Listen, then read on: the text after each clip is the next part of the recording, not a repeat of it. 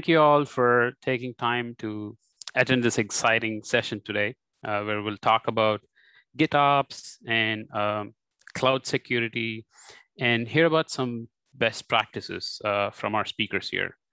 Um, I'm Aditya Mupavarapu. I'm the global segment leader for DevOps and AWS. Uh, let me introduce uh, William from GitLab. William. Hello, William Chia. I uh, serve the product marketing team at GitLab, and uh, we are a single application for your entire DevOps lifecycle. Be sharing a little bit more about GitLab and uh, how developers and operations and security teams use them uh, throughout the webinar today. Thank you, William. Uh, GitLab has been one of my favorites uh, go-to DevOps tools when I was a hands-on DevOps person there back in back in the days. Um, next, uh, Bridgecrew team is here. Uh, Guy, you want to introduce yourself? Yeah, sure, Adi. Hi, everybody. Hi, William.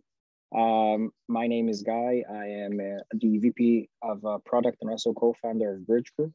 Uh, we are now happy to be part of the Palo Alto Networks family um, and specifically part of Prisma Cloud.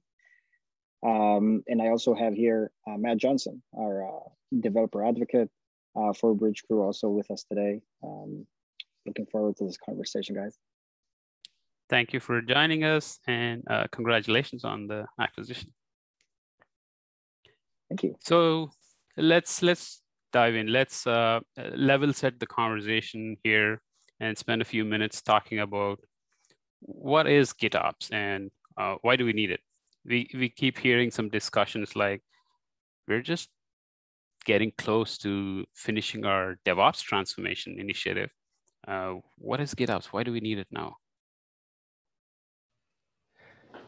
Yeah, I think I think that's a great question, and I can uh, I can jump into that, Adi. I think uh, a summary statement or an easy way to talk about why GitOps or or what's the kind of impetus for it is uh, if you look at all of the lessons we've learned out of DevOps in the within the realm of, of application development uh, the automation the collaboration uh, all of these kinds of lessons that we've learned and uh, then you want to apply them to the realm of infrastructure automation. This is kind of where uh, gitops comes in. And so you might say okay uh, why you know why a new term? Is this you know is this kind of just a, a new marketing term uh, do, do we need more marketing terms? Is DevOps just a marketing term? Uh, and to some degree, you know, I, I might I might uh, agree with that. You know, I would say terminology is is helpful for its various contexts. So it I think it is valuable to talk about DevOps uh, in terms of automation, collaboration, um, efficiency, uh, scoping work, these kinds of conversations within the, the realm of, of application development. And then GitOps is, is really specifically about infrastructure automation. Uh, and so I think throughout our call today, we can talk about um, how these two different worlds work, how they can be similar and learn from each other, and maybe how some of their differences. Um, so, so I would say that's kind of the the top level, like what is GitOps?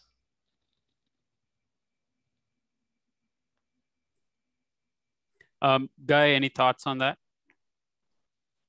Absolutely. Uh, really like uh, I really like William's uh, positioning of GitOps as this advancement of uh, how infrastructure uh, automation is uh, is eating up the world and making such a, profound impact on how application development looks like. And and every one of us who has some perspective about building web applications and SaaS applications can appreciate the fact that now with managed services that have kind of taken the place of um, all of our individual um, um, executions of open source is uh, is making making application development much faster and and from from you know our two years of uh, developing a cloud native application specifically in the in the security area the ability to um, build out a development team that can rely on public cloud infrastructure such an such as AWS and to be able to distribute that software very fast uh, using um, infrastructure automation has, has been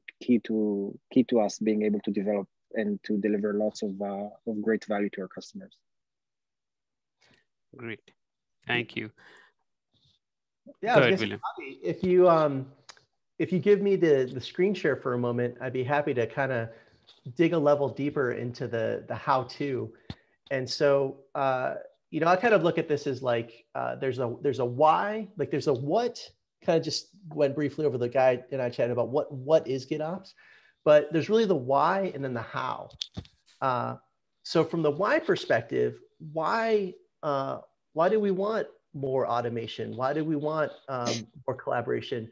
And the way I really think to hone this down, and I don't know if anyone on the call, you could mention in chat if you've ever had this experience. Uh, so have you ever had the experience where you have gone in to uh, configure some piece of your infrastructure? Let's just say you're logged into the AWS console.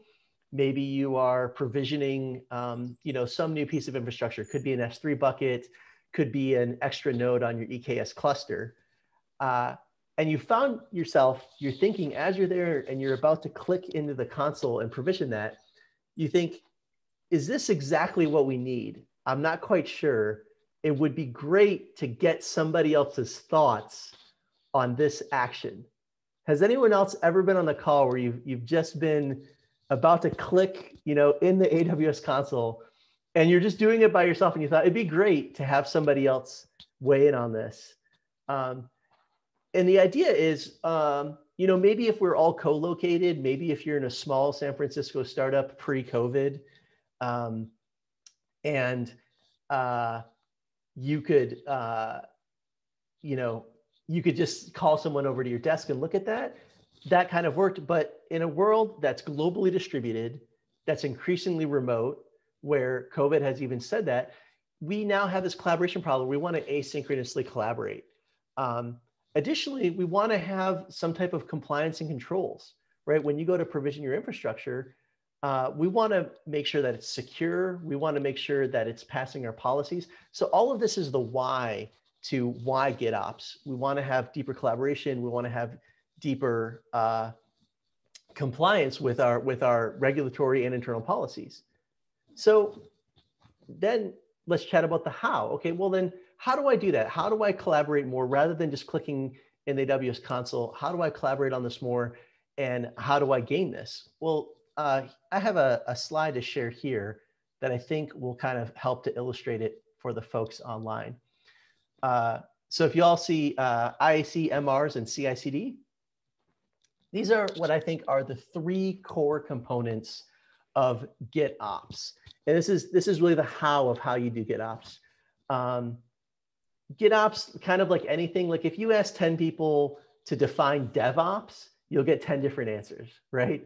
If you ask, you know, a lot of tech terminology, if you ask 10 folks to define it, they'll give you 10 different answers. Um, and so there's maybe a lot of confusion or a lot of different definitions for GitOps, but I think I think this one is is very fundamental and one that kind of everyone agrees upon. Is you have these core components. So the first one is infrastructure as code. Rather than rather than clicking on things as much as possible, you want the, the definitions, uh, your declarative infrastructure, or even if it's procedural, you want that to be stored as code within a code repository. This, of course, is where you know GitLab has a, code repository and can help you out with that component. The next component is critical to doing GitOps, and that is uh, change via merge request, or in some uh, GitLab calls it a merge request. Some tools call it a pull request. Uh, but that uh, mechanism becomes your change agent. So what this means is, is you shouldn't be changing your infrastructure as much as possible. Obviously, we all have a lot of um, different levels of maturity, and some things can be fully code and some things can't. But as much as possible for your infrastructure defined as code, uh, you want to be making changes to that infrastructure via the merge request.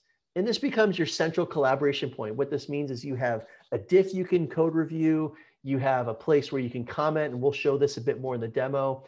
But if that becomes, if the merge request or the MR becomes your main change agent, that is your point of collaboration. Uh, and then finally, the a key key component is automation. And so this is where CI/CD is a core component of GitOps. Um, as much as possible, you want to not be making manual changes to your infrastructure, but you want those changes to be enacted via automation.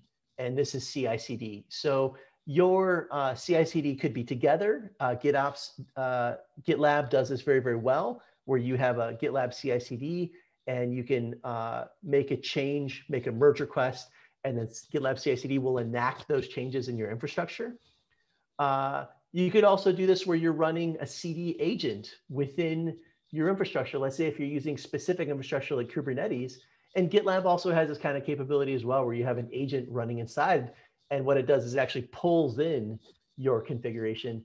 But whatever mechanism, you know, the mode of automation is less important. Uh, what's important is that you're not making those manual changes where you have configuration drift and all these kind of challenges, but you are automating your changes. So that's kind of like at a high level, the what of uh, GitOps. That's that's very insightful. So key takeaways uh, for me is implementing infrastructure as code and apply the same rigor and guardrails as you do for your application code to start with. Um, treat, treat, treat every change through your version control system, make sure you have all the bells and whistles and guardrails in place. Um, so sounds like a CI/CD pipeline for infrastructure as code. Um, could you share your uh, thoughts and experience on what a typical pipeline would look like uh, for uh, infrastructure as code? Yeah, that's uh, that's a great question. I would say uh, we'll show this a little bit in more detail in demo. These can be very very simple or very very complex. Um, I would say at the basic level, where uh, with application code, you know, you have build, test, deploy uh, those are your three. You might have 12 stages, you might have one or two, but build, test, deploy is kind of your uh, fundamentals of what shows up in your pipeline. And so I, I, kind of think of that the same way with infrastructure, where uh, you would have, um, you know, you'd run something like a Terraform plan, or you'd, you'd get a plan output, and then you'd run tests. So you might do some kind of test on your code, do a, do a plan and get a plan output of, of what you plan to apply, run your tests on that, and then enact enact those changes, which is kind of like your deploy step where you actually then go and, and make those changes in the infrastructure. So between three and four kind of core stages to a GitOps pipeline. Would it, uh, Matt or Guy, uh, I'll open up to y'all if you think agree, disagree. uh, absolutely agree on the structure. I think where we see variance, and I think this goes back to your point of what's going to be manual and what's going to be automated. And, and you made a great, great shout out to the fact that sometimes there's going to be um, uh, portions of infrastructure that are just not meant for automation to manage and handle, right? If it's, um, Adi was mentioning, if it's a single uh, credit card now that gets a, uh, gets revoked from the account and suddenly that shuts down everything, that's something that you might want a human to intervene on. So there's definitely types of configurations we're going to see where human interaction, especially kind of a um, executive structure to manage and um, and um, and propagate changes in, in a mature pipeline. So so so one area is what is manual versus automated will probably determine how complex or or um, um, or, uh, or or broken down a an infrastructure pipeline it looks like. And I think one more point, which is interesting, and I think AWS already called this out, we're seeing the formation of these kind of, you can call these Dev, DevOps or DevSecOps teams, these platform and infrastructure teams that are becoming um, uh, an internal um, internal product and engineering team that's aiming to um, to democratize some of the infrastructure provisioning process. So we'll, we'll we're start seeing in, in in big cloud companies um, these pockets form of individual uh, teams that are able to provision infrastructure um, in a very short and and um, and, and not very uh, not very complex uh, uh infrastructure automation uh, pipeline, and then you'll have a more uh, more strict GitOps process for um, you know signing off on the on the registries and on the modules that are effectively going to help us build infrastructure. Um, so I think these are the two main human elements that I think are interesting when you look at at how you know your org structure, dev org structure is going to uh, reflect in your DevOps pipelines. Have you guys have you guys also encountered that type of uh, kind of maturity in the market? Yes. So I, I think you bring up a really good point on uh, the things you may want to automate or things you may not, and uh, levels of automation. And just because in some cases you might want some amount of manual check within a process doesn't mean you can't automate it at all, right? Um, so, so this is the, the power of what I was saying, like the merge request as your change agent.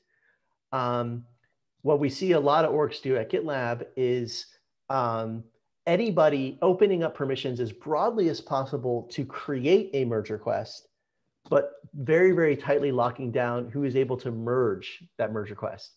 And what this allows you to do is like optimize collaboration. So for example, if all of your code for something, let's say very, very sensitive, even like a, a particular database or, um, you know, some, some type of infrastructure that's, that's uh, critical to your operations, uh, a lot of times then you have to lock that down and nobody knows what's going on there. Nobody can see it. Uh, and often even expertise that you would have in your, your software development teams that could, that could help you, they're kind of locked away from that. But when when the ability to propose a change is open to as broadly as possible any developer or operator anyone in the org can can propose a change and say here is a change i think could be made to the infrastructure but uh, a small group of people have the ability to actually enact that change and that might be the ability to merge it the ability to approve it or even if it's merged the ability to then say that's going to pass then to the next pipeline so you can have a lot of different gates along the way. And some of those can just be automated if it's um, maybe if it's like a, a trivial set of, um, you know, you have a test, a dev environment where you want to be able to spin up infrastructure. And as long as it's within a certain, um, you know, budget, you don't want to go over budget, but just spin up whatever you need. Well, then a developer should just be able to merge all their own code and just enact it all automated. But maybe if it's your critical production infrastructure, uh, anybody can propose a change, but then there's a small group of people that can enact that change, and that allows you to adhere to your compliance policies and to reduce your risk. That's great. Um, let's uh, switch gears a bit and talk about um, DevSecOps. Um, what is DevSecOps? You know, similar to DevOps, each uh, company or individual has a different understanding uh, of DevSecOps. Um, uh, personally, I see two two clear sections within DevSecOps. One is application security, and another another one is uh, uh, infrastructure security. Um, so, could you shed some light on these areas and uh, highlight some of the best practices uh, while implementing DevSecOps? Absolutely, Guy. I'll let you. Uh, I'll let you take this one first, and then I can I can share a bit of my thoughts as well would love to. uh, so I think it. Uh, so my foundational thinking as a as a product person is uh, is is who who are the personas, who are the people that are enacting DevSecOps in in big organization. And Adi was uh, was accurate to mention there's essentially two types of motivation. One that comes uh, from the DevOps side um, or a platform infrastructure engineering, as I mentioned, which is a is a is a cloud infrastructure governance and security motivation. So how do I um, from a centralized managed position, try to enact a set of policies that will ensure that uh, posture that eventually gets uh, gets gets uh, deployed into my public cloud uh, is retained through a GitOps process, right?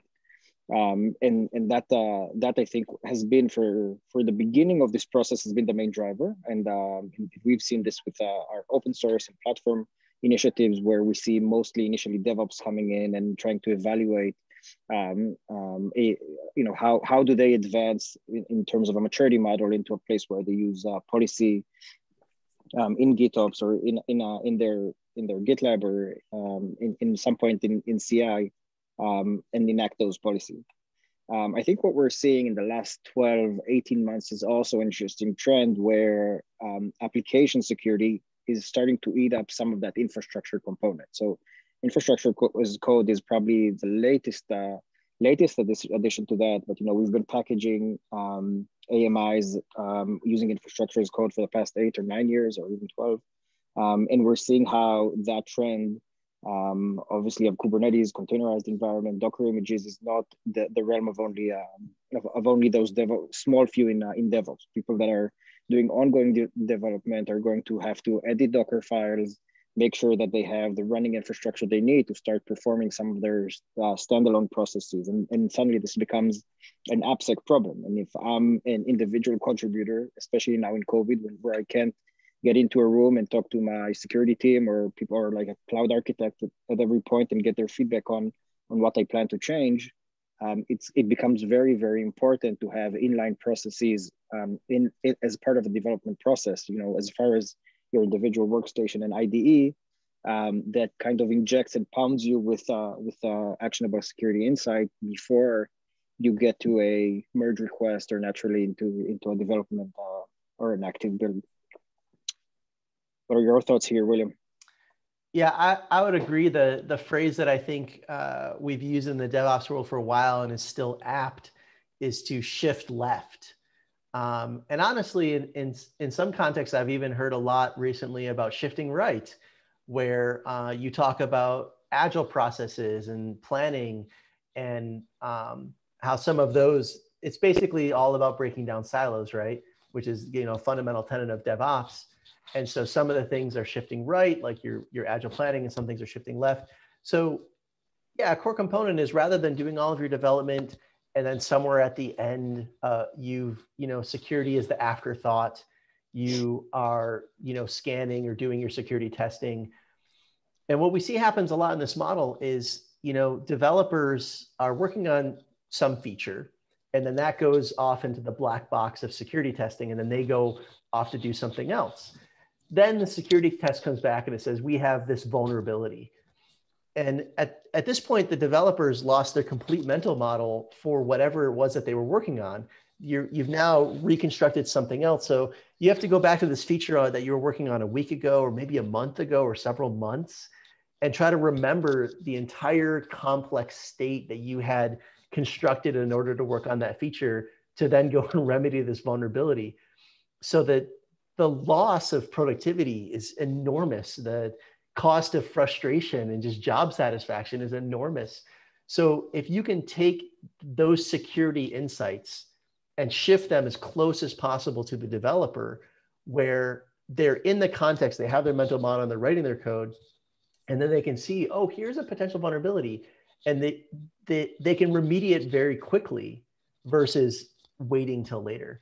So uh, when I think of, of DevSecOps, I think of the application of security principles to the, in, the entire uh, practice of, of DevOps. So this is everything from your security testing, which we talk about a lot, but it's um, your permissions model, that who has access to what, uh, compliance, you know, um, across across kind of everything. So even something that you may not even think about, uh, we see this a lot with GitLab because GitLab uh, will host your code, but is also your CI/CD and is also, let's say, your agile planning tool. Uh, I was just talking with a, a, large enterprise last week, and they use a lot of GitLab. And previously, I had three different tools to do all those things. And they were sharing with me, you know, I had to secure three different tools. I had to manage three different set of, of authentication and authorization.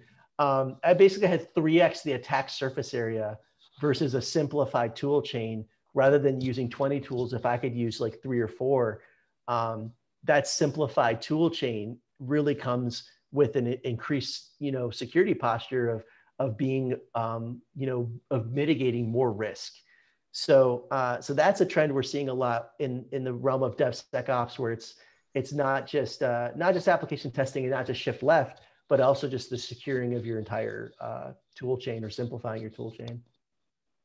That's that's great. It's so it's not just shift left or shift right, but apply security at every stage during your uh, application delivery pipeline. Um, eh, yeah. So without uh, any delay, um, let let's get down to a small demo.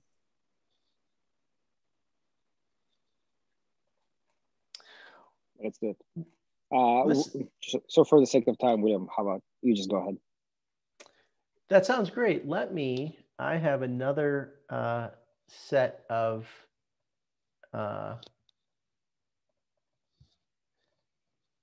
I will share right here. And what we'll do is, uh, if I can start off by just showing a little bit of GitLab and uh, how you can apply some of these principles, GitOps, infrastructure as code, DevSecOps, and then I'd love to hand off to Matt to show you how Bridgecrew works together with GitLab to secure infrastructure. So uh, to give the folks, this is kind of like a, a, a, sample repository I have here. And what I've started out is I, I am using GitLab groups and GitLab projects to do a separation of concerns where uh, this set of projects is my application code where you know I might have microservices teams working on their services here or their applications or product teams working on their apps here. And then infrastructure teams would have infrastructure and I'll, I'll let Matt show more what that looks like. But from an application side, let's, uh, let's say, for example, I'm working on this node app and you know this is this is kind of like a bare bones express you know if you just do like an express up or um, a basic template and the idea here is um, maybe this is deploying into some other type of infrastructure, let's say on Google, and we want to migrate this over to AWS, of course. Uh, so, so what would this process look like in a GitOps world if I want to do this migration? And then in a not GitOps world, I might be doing a lot of manual changes. This might require uh, a lot of back and forth, but I'll show you how this can be pretty streamlined within one flow. So the first thing I'd want to do is obviously starting with an issue or a ticket and the value here of this kind of agile planning as part of the GitOps flow is again, just kind of starting this collaboration. So in this case, I want to say I want to migrate my application to an EKS cluster. And what I can do is, is within a description here, I can add additional details about why this we may want to do this, um, any type of capacity that's needed, any of the parameters that we either know from the business or from the development side of the house that as a as a platform operations team, we would want to understand uh, what are the needs before we go and and kind of go to do the work. So this is a place where folks can leave comments and collaborate. And you can see this issue's kind of been assigned to me. And then uh, this is one of the parts of GitLab that we uh, don't require, but one that I'm kind of particularly passionate about. We call it GitLab Flow. In a in a traditional kind of Git model, there's a lot of different ways to do Git branching and Git flow. Uh, but a lot of times what you do is you open up your terminal, you create a branch locally, and you start your work. And then after you've built a feature on that branch, then maybe you push that to your remote repository, and then you create a pull, pull request or merge request.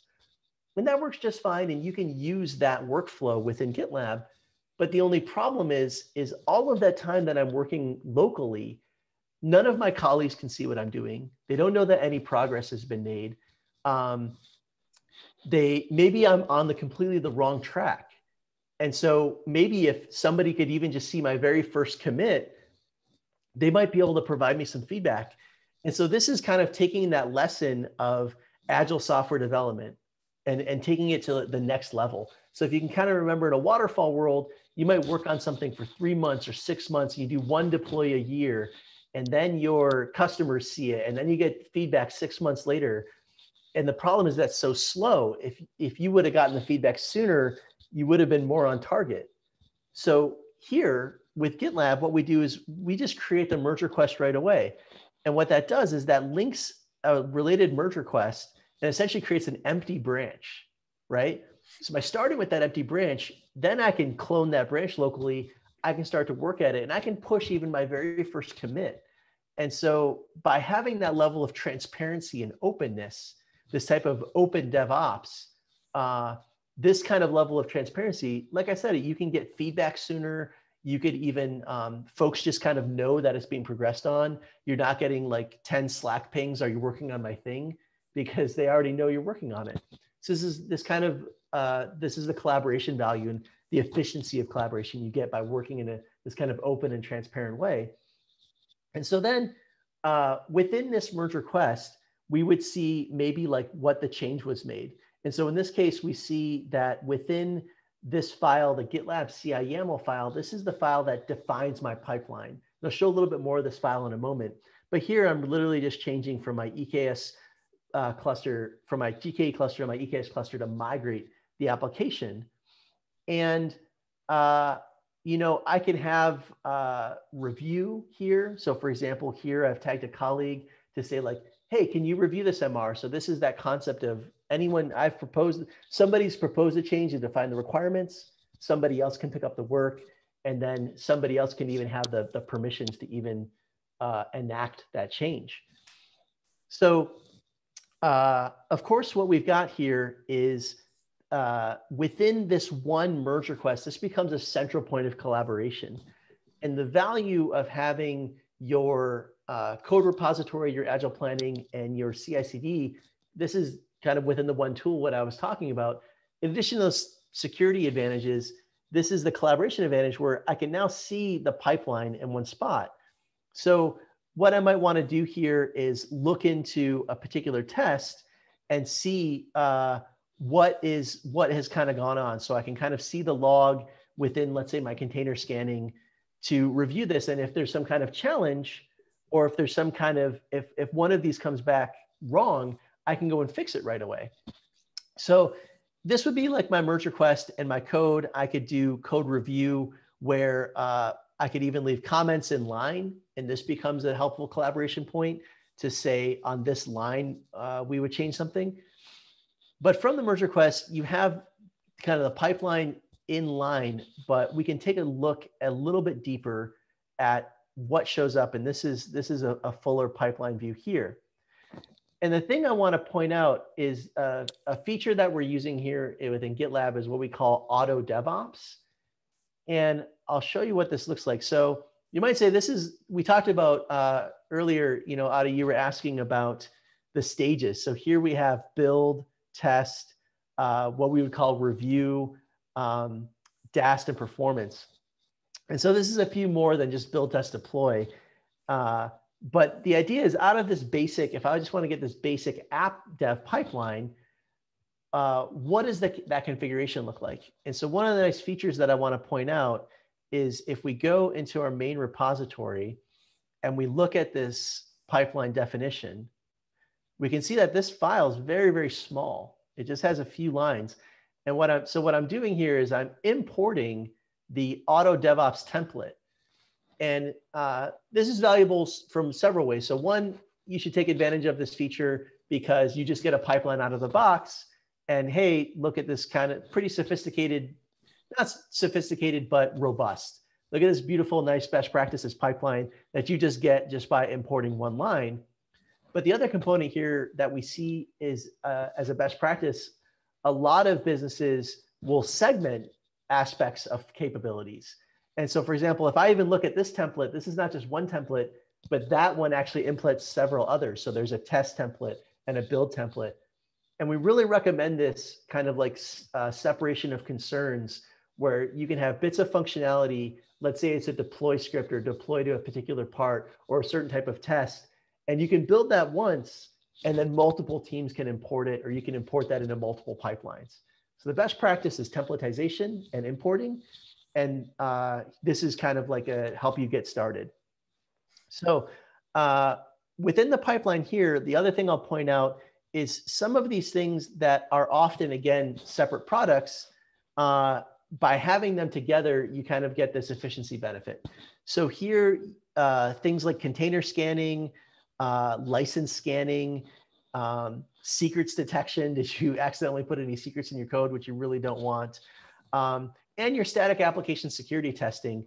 These are just features of GitLab. So this kind of comes out of the box in you know the top tier of GitLab you get you get these security capabilities again to get that scanning early and then what's nice is not only do you get it in the pipeline where you could go and look at the log if you wanted to but an efficiency benefit is it's going to show up right here in the merge request. This becomes the developer's home base sort of to say. And uh, what matt will show you as well is how this um, can work on the operation side of the house. So on the AppSec side of the house, you can see that uh, the security scanning shows up right in the MR, and uh, I can just expand this report. And so I can see, okay, SAST, hey, I've got no vulnerabilities there. Um, dependency scanning looks good.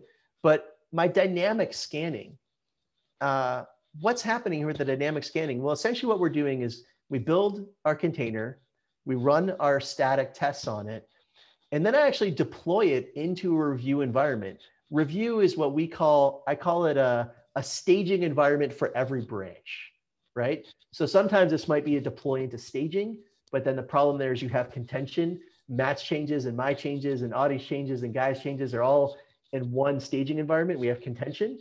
So by having a separate review environment for every branch, I can review my just my changes in isolation and then I can dynamically test them. And so here I can see, hey, I have some vulnerabilities in my, my running environment in this um, staging environment. And let's say, uh, you know, some of these I might want to try to remediate. So for example, I can click on it and get some, some real-time information about what this bug is, what the possible causes are. Um, I can link to the CVE. I can uh, even have like a proposed solution and then I can make some decisions. So this might be the developer, or this could be even your security reviewer coming in to say, I'm just going to dismiss this vulnerability. It's one that we know about and uh, one that we've just accepted that we don't want to fix for whatever reason. Or I could then go and create a new issue where all of that information will just be added in automatically to say, okay, I'm not going to remediate in this remediate it in this piece of code but we do want to take care of it later on. So then the cycle starts again. Now I have an issue. I can uh, collaborate. Um, and maybe one of the links there is a 404, but um, all I have to say is this is this is the kind of flow where we can see within the merge request, I get I get feedback.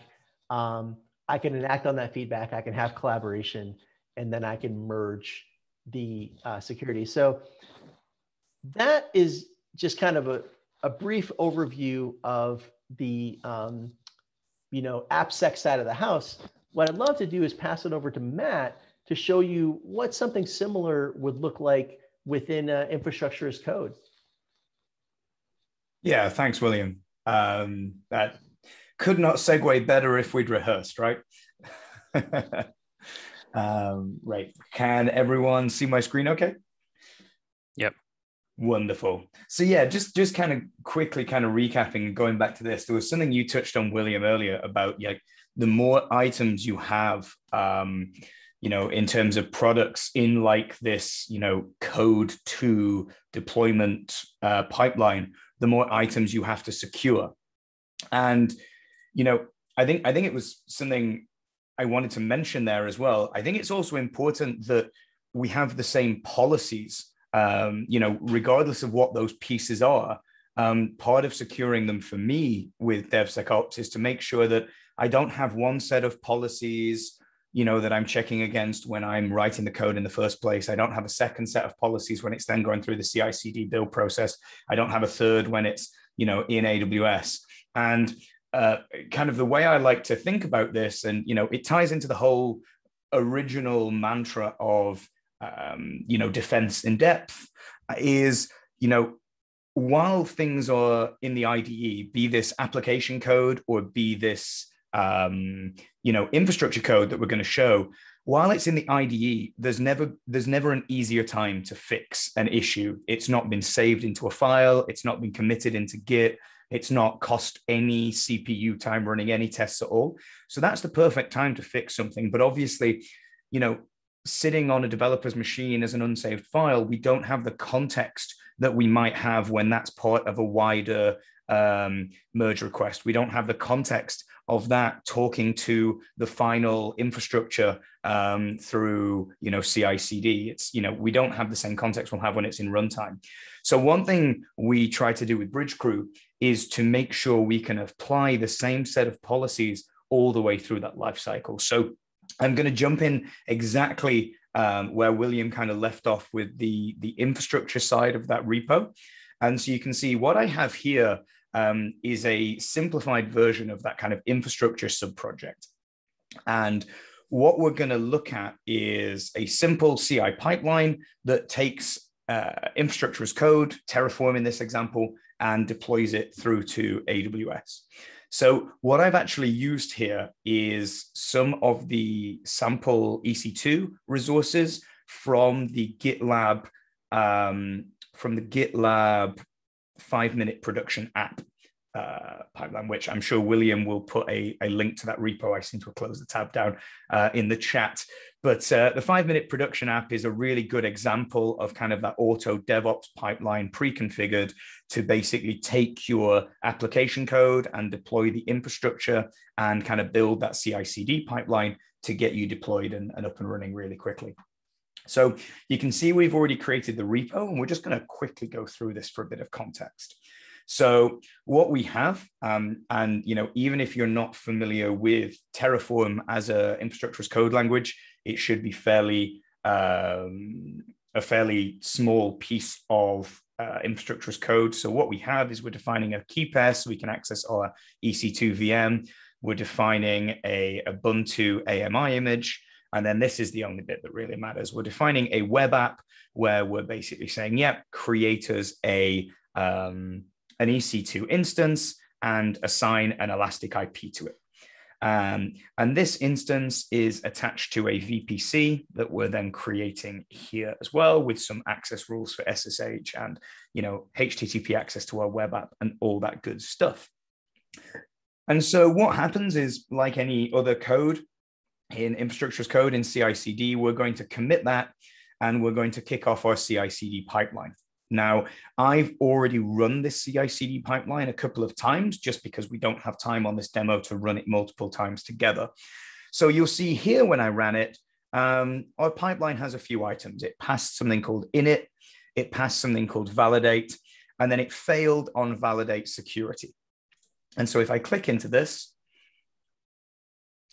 you can see what we have here is a list of you know issues being spat out and then we have this lovely link to our Bridgecrew cloud integration which will actually then immediately show us without having to scroll through all that kind of CI/CD output exactly what the issues were we found with the infrastructure of code we've just scanned, which is why we've alerted on it.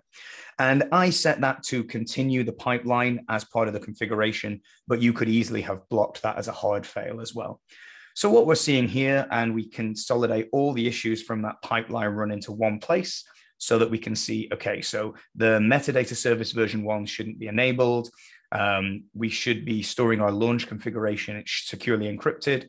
And, you know, maybe more concerningly, we shouldn't be allowing uh, SSH access to the whole of the IPv4 internet. So that is, you know, enough for us to go, right, well, there's clearly an issue there and we're clearly going to want to you know, not allow that to through to production. So as you can see at that point, you know, we didn't progress any further. We didn't do our uh, deploy stage um, that, that actually put that Terraform live. So let's go and have a quick look at that pipeline and, and what we're actually doing there. Again, a very simple pipeline.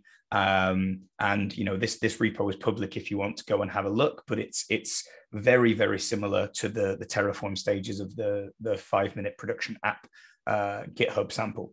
Uh, Git, GitLab sample. My apologies. So what we have is an init stage here, and you can imagine that's just using the GitLab helpers to do a uh, Terraform init. Uh, making sure that our Terraform kind of parses, making sure that we have a Terraform state directory. Then very, very similar to making sure that we're linting or we're kind of syntactically checking JSON or application code, we're going to run Terraform validate. And there's no point not running Terraform validate, as we'll, we'll get, because if at this point I cannot validate my Terraform, nothing else is going to work. And then before we would then do the normal kind of Terraform trifecta, you know, init, validate, uh, plan, deploy, um, what we're going to do is insert some Bridgecrew steps. And you'll see that these are using a Bridgecrew image. Um, and it's very modular, the way you can create a GitLab CI pipeline. So just because these ones were using um, you know, the Terraform helper images from GitLab doesn't mean that our job cannot use our Bridgecrew scanning image. And what this is basically going to do is run our scanning agent to check for any infrastructure as code configuration issues um, but also then integrate with our Bridgecrew dashboard so that we can see that URL at the end to that really clean view. Um, so we can kind of see in one place um, all historical runs from our CI/CD pipeline. And if we go kind of one back um, in code reviews, you can actually see all the previous runs. So you could go back, you can see which one passed and failed from a security perspective um, and have that historical information of security. So when we ran that pipeline, as we saw, it failed on a couple of things. And the things it failed on were, as we saw from looking into the, uh, clicking through that link from the, the output, we failed on um, a couple of issues with the EC2 uh, instance and an issue with uh, securing SSH access. So I went ahead and I made those changes. So you can see here, um, I made a change where I I made a change where I um, put in instead of just open to the world, I went, yep, I don't want SSH open to the world, and I put in like my local subnet or, or some secure subnet. But I made a mistake there. Um, I, I tried to put an IP address and I gave it a subnet mask, and quite rightly so, completely not security related, but to the point of needing things like validation, um, we didn't progress through the pipeline. Uh, pipeline validate failed and said that's not a valid CIDR. That's that's not going to process correctly. So the next commit I made, I quickly went and made that change there. And as you can see in the Git diff we just looked at, um, I corrected that. So not only are we checking for security issues, we're checking that this is kind of valid Terraform in the first place. And so we've gone through and we've made that commit.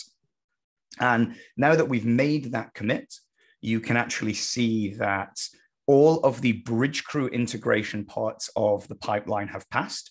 And that's allowed us to progress all the way to deploy so that you can actually see we now have that instance created.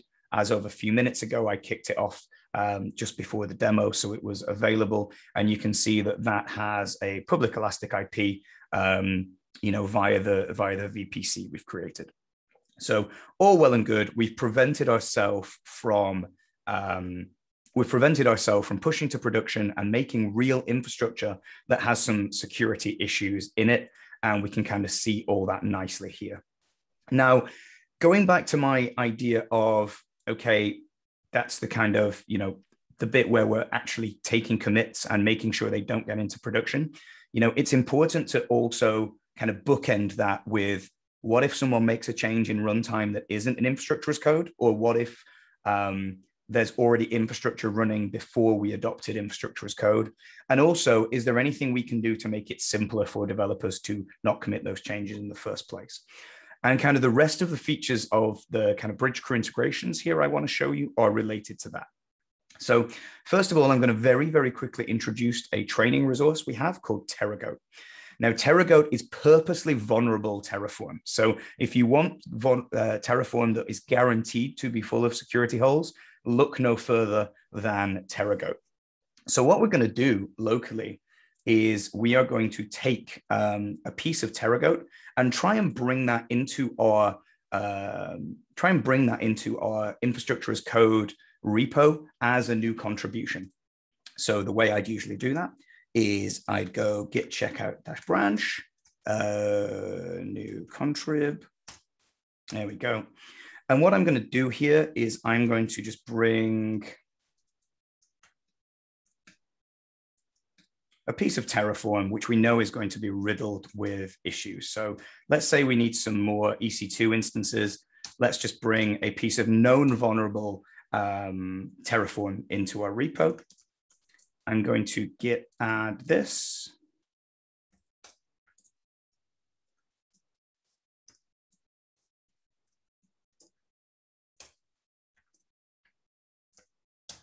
And we're going to push this as a new branch to our GitLab. Okay, at this point, GitLab very helpfully gives us a, yep, if you want to create a merge request, click here, and we'll go ahead and do that. So I leave these as the defaults. And what we're basically doing here is simulating someone either externally, if it's a public project, or someone within your organization and developers um, going ahead and making a contribution to this infrastructure as code for, you know, increasing capacity or new features and things like that. And what we're going to see is not only is it going to run the merge request version of validate sec, So that's going to highlight any issues um, we may have. But in a couple of uh, in a couple of seconds, what's going to happen, and given the amount of time, I'm just going to show you another merge request I just did earlier. But what's going to happen is the Bridgecrew integration is actually going to annotate all the issues, um, not with the repo in general, but just with the specific new pieces of infrastructure as code that have been added in that merge request. So even if someone's looking at this as a reviewer who's maybe not a security expert, we're providing a virtual security assistant here to basically go, hey, you really don't want to merge this merge request. Um, because it contains these new infrastructure as code security issues. And for each one, we provide severity, we provide a link to some context so that kind of anyone can kind of understand the what and why as to why we're flagging these up as an issue. Um, and again, all of these will also get, um, you know, merged back into the incidents page. So how do I enable that kind of scanning? It's very, very simple. We can sign up for Bridgecrew and you can do that through GitLab. So you can use your GitLab auth to uh, create a Bridgecrew account. And then in integrations, if we go to gitlab.com, you can see I've just added my GitLab account here. And in here, I can then select the repos I want to scan or just select all. And by default, you will get that automated uh, merge request annotation uh, on any of the repos we, de we detect any um, infrastructure as code in. So Kubernetes, Helm charts, Terraform, CloudFormation, you name it, um, we'll get that kind of automated set of commentary there. And then talking of integrations, just to wrap up, um, the last thing we want to show as well is, like I said, it's important to bookend both development and um, and runtime. Um, by integrating read-only, and what happens here is we create a tiny little bit of cloud formation into your AWS account, which basically gives us the minimal set of read access into that account so we can actually query running resources. And then we use the, that access to basically check the same policies against objects that are already running in AWS. So objects that may predate infrastructure as code, you're going to be able to find issues. Um, so let's say someone makes a change, we're going to be able to detect that drift. Or if there's issues predating, we're also going to be able to find that as well. And so to show that, for example, if we go into incidents and we look at uh, the filters we have available, let's instead of filtering on a particular Git repo or a particular CI CD run, which we can do, um, we can just focus on that AWS account. And what we'll see here, uh, for example, is we already have an issue uh, predating which allows SSH running in production, or we have items in um, in this account. I'm just in a demo account here. We have a lot of items that aren't tagged with like an owner, say, or you know a contact, which isn't ideal. We have an S3 bucket here um, with versioning not enabled. So you know we're going to see any issues that either predate or have been adrift uh, that are real and live in that AWS account right now. And you know, to William's app side, I think that kind of gives a you know a full end to end of whether it's application code or infrastructure as code. The process is the same. The tool set is the same in terms of you build a pipeline to automate and to provide your developers with at a glance information about the health of a change or the health of a merge request. Um, and you know, Bridgecrew will allow you to kind of fulfill that infrastructure as code scanning piece in that pipeline. Guy or William, do you have any uh, any additions there? Anything I've missed? Nothing from my end. Great job, Matt. Loved it. William as well. Uh, love to see the additions to the GitLab demo every time.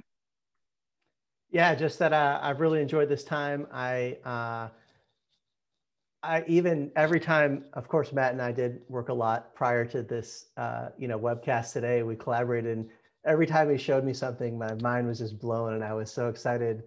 I was like, I can't believe you can do that. This is just the coolest thing. And even today, uh, I'm even just still very excited about uh, some of the ways we've just progressed uh, and just the tooling that we have that that is uh, making us more and more secure. The um, the stakes are so high, right? This it's just the um, the stakes are so high, and the challenge is so complex and so it's just very exciting to me. Um, I really like the, the concept you showed there of the earlier are in the process. Um, you know, we can catch things sooner, but we don't have all the context. So we want to apply this at every single stage along the way. So I just really enjoyed the time here. And and and Adi, I think you could uh, close us down if we don't have anything else. Yeah. Um, few few important things that stood out to me uh, during this demo is um, the concept of inner sourcing. You know, large enterprises they they tend to have silos of uh, not only people but also repos. Uh, I I personally experienced that in my past. So it's it's very important to have tools like GitLab where they allow for inner sourcing and uh, encourage that internal collaboration within your org. Um, two is um, collaboration, right? Uh, um, I heard traces of something I call uh, shared self-service platform. Um, this is where various teams' capabilities are offered as a service. In this case, we saw uh, version control, we saw security, we saw compliance, we saw quality, all within one one pipeline. Um, and each team is collaborating uh, their own uh, capabilities into that pipeline. And it all happens in in the context without having to switch around tools, you know, uh, eh, with easy links to uh, other places. Uh, so I think it's very powerful. Um, anyways, thank you all for taking time to attend this session today. Uh, it, it, was a pleasure talking to our speakers as well. Thank you guys. Um, and we'll we'll follow up with uh, any questions you had. Uh, we'll, we'll, try to reply on an email, follow up email.